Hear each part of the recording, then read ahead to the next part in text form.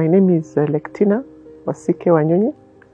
I'm um, the spouse to Honorable Tim Wanyonyi, Member of Parliament for Westlands constituency. I'm a mother, three biological children, and many, many others. Um, and uh, I'm also an employee of the government of Kenya. I must also say I'm a pampered sister and daughter.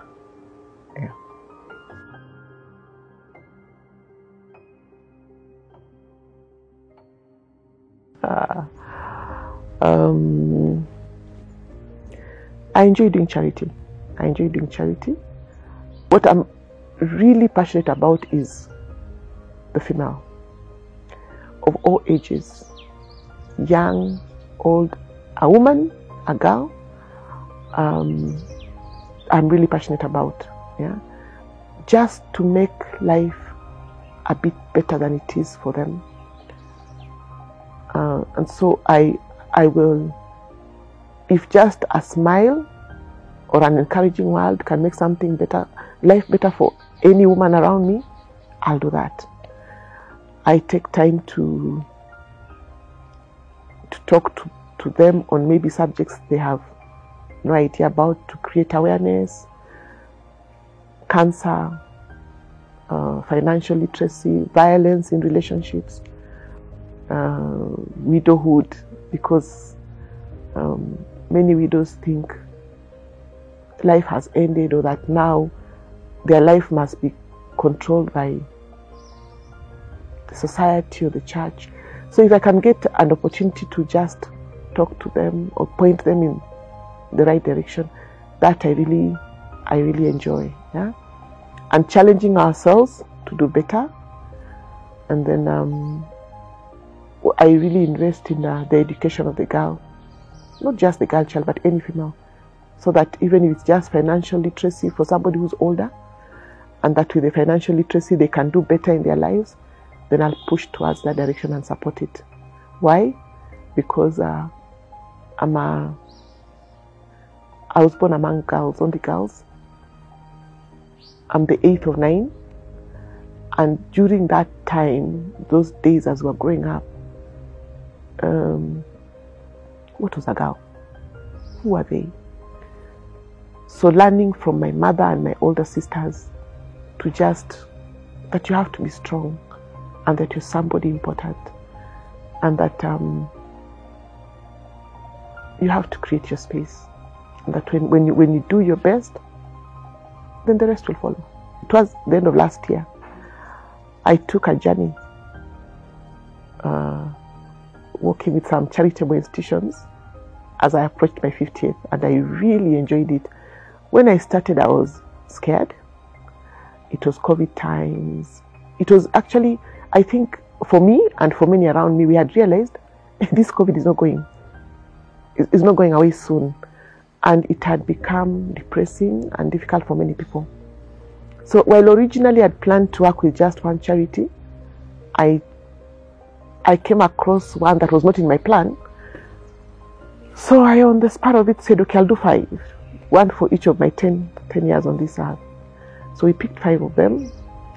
Uh, I was supported by my family, uh, friends, and relatives, and even strangers, and uh, was able to to to to meet and surpass the targets I'd set for each charity.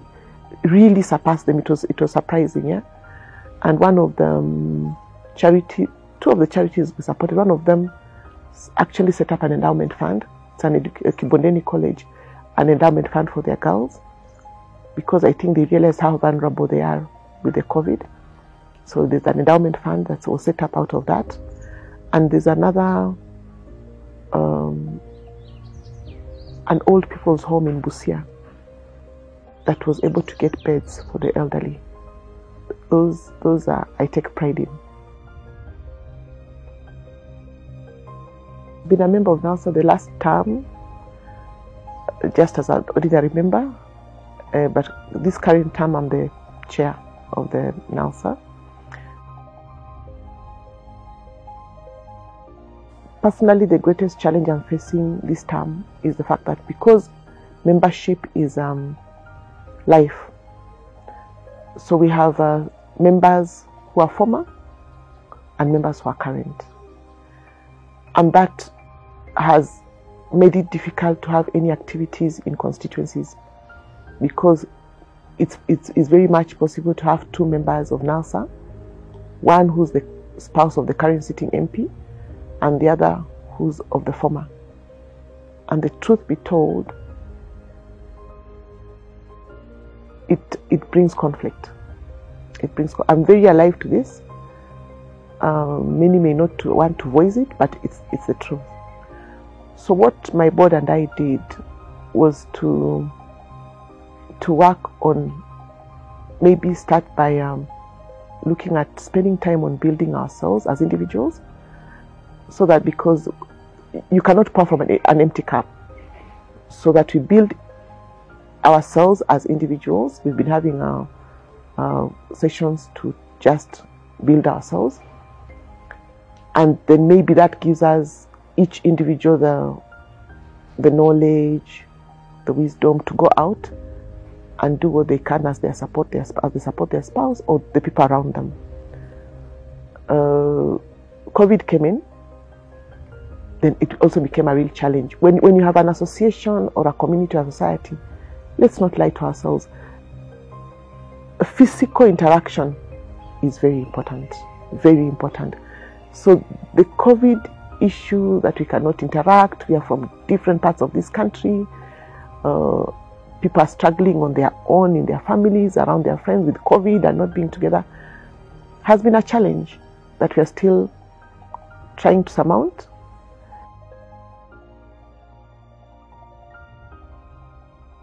In the first term, which was not my achievement, there was a different chair. What they did was, um, what we did was to reach out to schools in terms of um, trying to encourage the young people, boy and girl, to focus on what is important, their education, to get back to our values, to do what is right, especially because there's a lot of, uh, of um, sexual abuse yeah. Even amongst themselves. So there was a campaign for that. And individual members did what they could in their constituencies and they supported each other. In this term, um, other than the trainings and the sessions we've had amongst ourselves to empower each other, there are certain individuals that have really gone out of their way to do to do what they really can in their constituencies as they support their spouses some have done things just within their communities. Uh, and I really hope that, I cannot articulate them as such, but I really hope that uh, we'll be able to, to get a recording of some of these things that individuals have achieved under the banner of NALSA. But as NALSA, we've participated in the Beyond Zero, I made a mark there. Uh, we've had cohesion uh, sessions, and um, we've got one or two plans we hope to achieve before the closure of the, the, the end of the term. Yes. I'll take pride in saying that we now have structures that we can talk of. That we took over an institution that was registered, yes, uh, but there are certain things, instruments of power, as you could say, were not there. Those ones we have. We've tried to hold together, even with the COVID times, even with the diversity that now includes uh, membership that is current and former and with the different ages and through the tanga tanga and the handshake, we've tried to hold together. Yes.